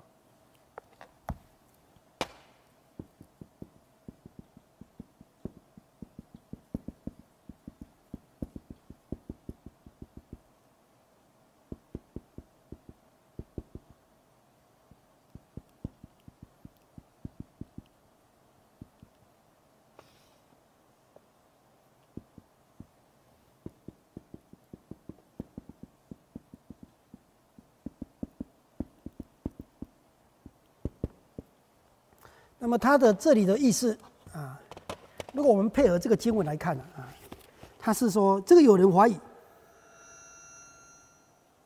有人怀疑啊，那么佛一个人怎么能够知道一切啊？那么他学习的时间跟他所能够知道的，那么不太可能知道一切法啊。他这里讲说，波罗波罗蜜实相清净如虚空啊。那么，所以这个概念啊，其实就是说，你之所以不能知道，是因为你的心有杂染。一般凡夫的心啊，果报中的嘛，啊，凡夫的心是有杂染、有局限，它不是无我嘛，所以它有限有量。因为它心有限有量，所以它能够知道的就有限有量。但是当一个人的心清净如虚空、无限无量的时候，那么他。他所能知的就无限无量，其实是这样啊。所以他说，在无量，因为他这里讲波罗波罗蜜实相清净如虚空，那佛是正得实相的人呢。所以说，佛的心基本上智慧就如虚空一样啊，无限无量。那既然智慧能够如虚空一样，所以他就能够知一切法啊，就好像虚空能够包容一切法一样。所以他说，无量无数法中。那么自发成眼啊，基本应该是它实相清净如虚空。那如就好像虚空能够包量包容，因为无量无数法都在虚空中嘛，所以就好像虚空包容包容无量无数法一样。那么佛的智慧如虚空，清净如虚空，所以他能够就能够知虚空中的，就是能够知无量无数法，其实是这样的啊。那。那因为它这个标点有一点点会让我们误会了啊的无量无数法中自发成眼啊不是这样啊应该是清净如虚空啊那么这个无量无数法都在虚空中了啊那么它自发成眼啊就是他自己从这里啊他这里都有讲到几点都有讲到佛自己讲自己是什么这里是自发成眼我是一切智人啊那么看看底下第六个那个下面。啊，他又有讲自说我神德无量，三界特尊为一切富富，啊，这是第二个。那第三个在下面他有讲啊，言其实就是也是自言，我是大师，有实力是无所谓，啊，那这三个基本上，这三个基本上应该都是佛成等正等觉的时候讲的话，啊，就是我们上次讲过，佛说我是一切智人，啊，那么我已出生死，啊，我要度一切众生。我们上次有写佛出生的时候讲了什么话？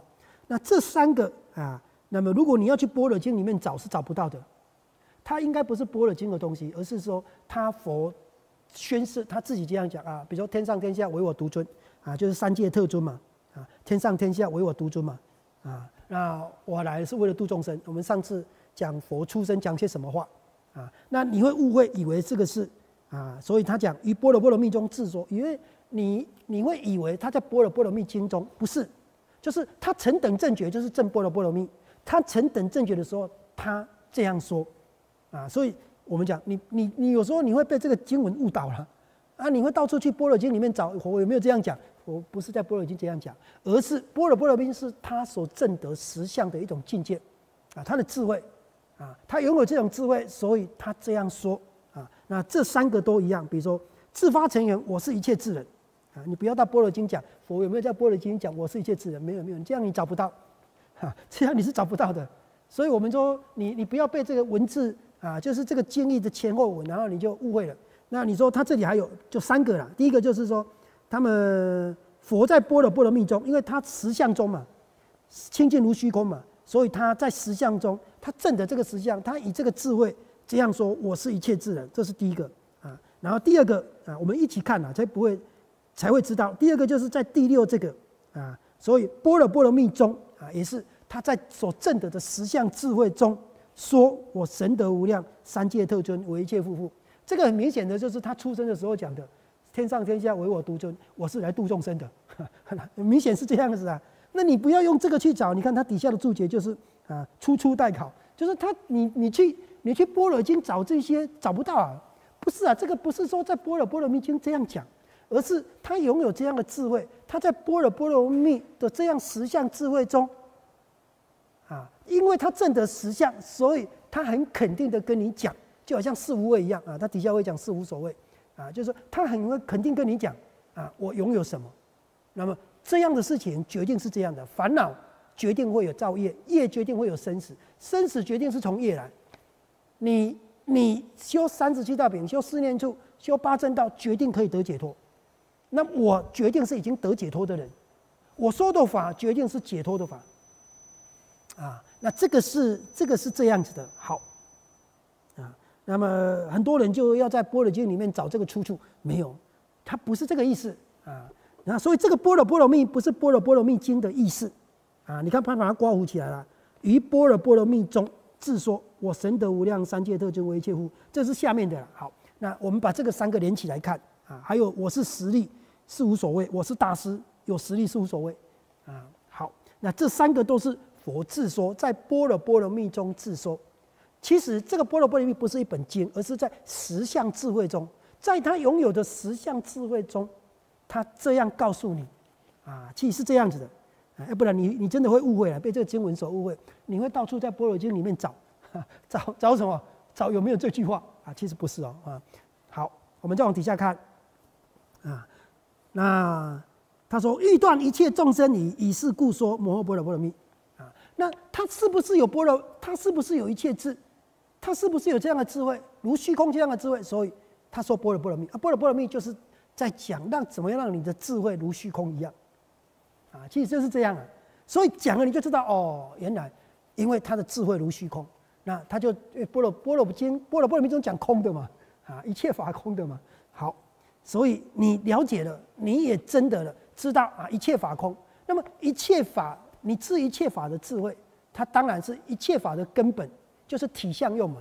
它的体就是空，它的相是种种的相，一切法相。啊，然后它有种种的作用啊，那你要怎么样修啊？要修些什么？那如果你不修会怎么样啊？那世间的事啊，都包含在里面，事出世间的事，都在一切法里面。那么你有这样的智慧，那么当然你不为一切所限制，你就能够知道一切。就好像你在地球上看不到地球一样，你在你在月球上你可以看到地球啊的本貌啊，其实是这样嘛。那我们在我的限制下就不离开我的范围，那你证得无我，你就能够知道一切啊。其实类似像这样。好，那这个是第四个欲断一切，欲断众生以一切智人。第五个为什么要说摩诃般若波罗蜜？四法实相拔出邪法。好，这个是印顺导师标志的啦啊。那么他说有众生应得度者。有些人啊，那么应该善根成熟，应该要得度啊。通常应得度的就是善根成熟的，善根不成熟的不能得度哦。善根不成熟的不能得度，那怎么办？让他善根成熟。那没有善根的呢？让他种善根。所以佛度众生基本上分三类的人，分三类的。第一个没有善根的，让他种善根；第二个有善根的，让他善根成熟；第三个善根成熟的，让他得度。那菩萨无生法忍的菩萨，最多做的就是这三件事。那么常做的就是那没有善根不成熟的人成熟，所以成熟众生嘛，成熟众生的善根，庄严国土，成熟众生。无生法忍菩萨基本上做这件事，庄严国土，成熟众生。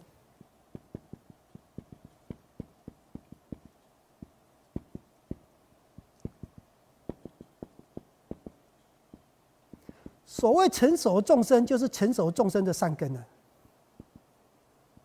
因为善根不成熟是不能得度的，啊，所以佛基本上啊，菩萨跟佛基本上都做这几件事。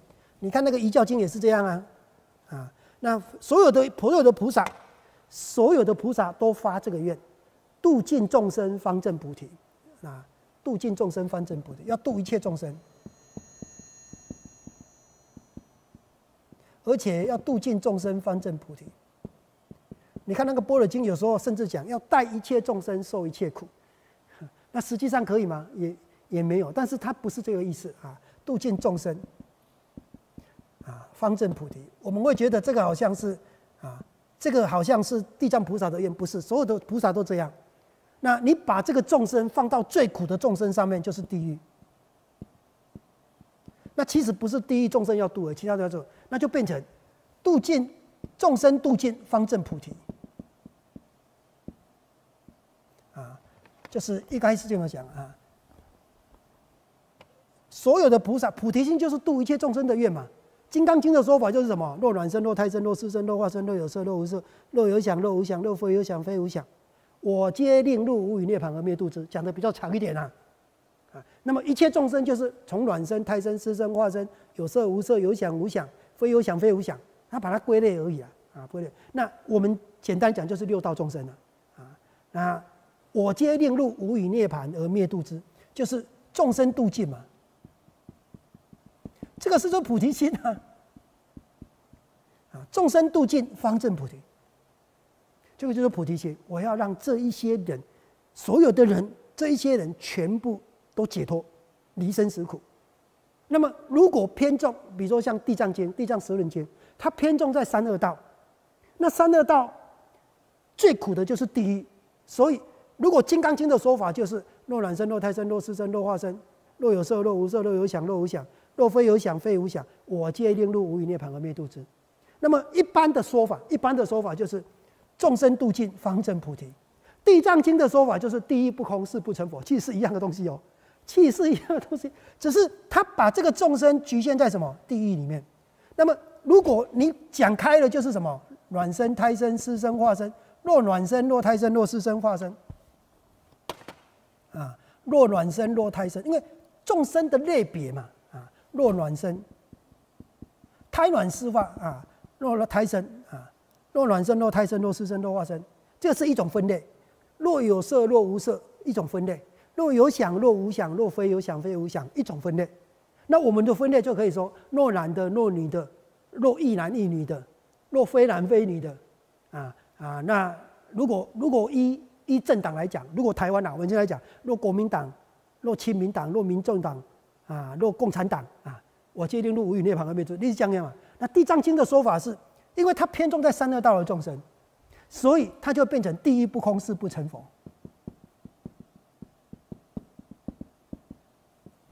啊，那跟众生度尽方正菩提，其实众生度尽方正菩提范围更广哦，范围不是包含第一在里面嘛？众生的范围包含第一在里面，六道众生嘛？啊，其实是这样子的。那我们就会觉得地藏菩萨特别伟大，不是所有的菩萨的愿一样，只是他的他的缘，或是他比较专注在哪些人身上，啊，其实是这样。但是所有的菩萨度众生都是一样，都是要让众生善根成熟。那么地藏菩萨要到第一众生，他也要让第第一的众生善根成熟啊，他要让第一善第一的善根成熟，他要先让他出第一才说。那，他所以其实地藏。地藏经第一不空是不成佛，它重点，它重点不在度第一的众生，它重点在让人不堕地狱，重点不在让三恶道的众生可以免苦，重点在人不去受三恶道众生的苦，其实是这样的啦啊。那所有的他都要让众生善根成熟。那什么叫善根？我们说过，善根基本上主要了，在经典里面主要这两个，一个就是无贪、无嗔、无痴。它就叫做三善根，啊，就是你要让善众生善根成熟，重点就是你要让他减少贪嗔痴，没有贪嗔痴。这这是很重要的啊，这是佛法很重要的一个概念。那我们有时候没有，就是被你说哦，你回向他就有善根，没有没有这个东西，就是要让他无贪无嗔无痴，无贪无嗔无痴就是三善根啊。所以，所有的佛法都在怎么样减少你的贪嗔痴啊？所以勤修戒定慧，熄灭贪嗔痴嘛，还是回到原来的佛法了啊。那另外一个就是啊，让你增长，让你增长智慧啊、定啊，去戒定慧的力量，就叫五根、五善根。这五根就是五根，就是五种增长增长的力量：信、静、念、定、慧。怎么让你信、信、静、念、定、慧？其实就是戒定慧啊。那当正前面是信，然后让你精进、信、静、念、定，这五根它基本上也是一种善根啊。那好，我们再把这一段先看一下啊。所以他这里讲啊，有众生应得度者，我们刚才讲菩萨基本上就是没有善根的，要让他种善根。那基本上，比如说外道，他不相信的，先要让他信。信解行证，先让他信，信经念定位。如果是外道，通常从信开始，像大智度论也是一样，信为能入。你要入佛法，那佛法中有很多善法，那么你可以成长很多善业。先让你相信，大圣也特别重信，啊，信行人特别尤其要引导信行人，先让你信，然后再让你了解，啊，那所以这个信基本上啊，就是先让你先让你啊理解佛法。啊，那么你相信了，那么你开始修学佛法，种种善业，种善业，那么成熟你对佛法的理解就种善根，那善根成熟之后，让你得让你得度啊，通常就是这样，一教经也是这样。那佛你还没度尽众生啊，你怎么就要入涅盘了呢？你不是发愿要度尽众生方正菩提吗？你不是众生无边誓愿度吗？现在还有很多人没得度呢，你怎么就入涅盘了？你看佛怎么说？啊，已经。已经善根已经成熟，都得度了；善根还没成熟的，我就这一生来了，我也让他成熟了，他未来会得度。那没有善根的呢？未来还不一定什么时候会得度，但是也跟他种善根了，在未来的未来，他有可能得度啊。那这个就是什么？度尽众生，其实是这样的啦啊。所以他这里讲啊，我们把这一段先看完了啊。这里讲到啊，因为。有众生应得度，以佛大功德智慧无量，难知难解故，为恶师所惑，心莫随法，心莫邪法，不入正道。有一些人，有一些人，他本来善根成熟，啊，那么但是但是这个因为佛的智慧啊，那不太容易，就是佛法啊，甚深嘛，叫般若波罗蜜甚深啊。啊，那么难知难解，就是佛的境界太深。那么佛所说的很多人啊，不容易知道。那所以很容易，因为他很容易被带偏掉，被六因为佛陀时代有六师外道嘛。啊，像央觉摩罗就很很明显的一个例子。央觉摩罗本身是善根成熟的人，所以他才能够在佛的佛的时代怎么证阿罗汉呢？但是他开始学的师傅，哈，把他带偏了。把他带偏了，让他去杀人，那么收集那个骨头，然后才教他怎么得解脱。然后他他被他带偏了，他以为这样可以得解脱，所以他就努力去杀人，要完成他师傅交给他的任务。结果因为这样造了很多的恶业，但是也因为他善根成熟，所以佛知道去度化他。在他要杀父母，如果他杀了母亲，他这一生就不能。他虽然善根成熟，也不能得解脱哦。造忤逆罪，这一生是不可能得解脱的。所以在要他杀母亲之前，赶快去阻止他，为他说法，说圣真的法，他才得解脱啊！其实类似像这样了。那么有很多众生都这样，不只是鸠央觉摩罗而已，很多众生都这样。所以为恶师所惑，心莫邪法，不入正道啊。那好，因为时间到，我们就先讲到这里啊。那因为这个，因为这些人，所以他要跟他说摩诃般若波罗蜜啊。那这个是第。第第五个啊，那后面还有啊，我们下次再讲。好，那就先讲到这里。那大家合掌回向，愿以此功德普及于一切，我等与众生皆共成佛道。